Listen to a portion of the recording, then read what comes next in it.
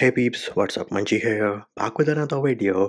And if you want to set a different notification sound for different apps on your Samsung Galaxy Z Flip 5, that is what we're going to do in this video. So you will go into settings. On the settings page you will go into apps. Once we are in the apps you need to select the application for which you want to have a different notification sound. So let us say for the messages application we want a different sound. So we will go into messages. Herein you will go into notifications. For starters make sure that allow notifications from the app is enabled then of course make sure it is not silent. Then we will go into notification categories. So here it is. You can see that we have an option for new messages for sim1 and for sim2 now in certain cases for applications like say facebook messenger or Facebook or Gmail, you might have multiple options over here.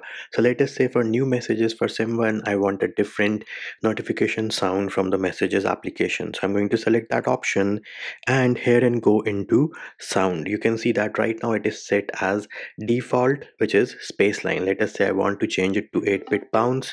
Select 8-bit bounce and now if I go back, you will notice that the sound has changed to 8-bit bounce. And now whenever I get a notification for a new message on sim1 the sound which will play is the sound which we just selected which is your 8-bit bounce and there it is beeps that is how you have a different notification sound for different applications on your samsung galaxy z flip 5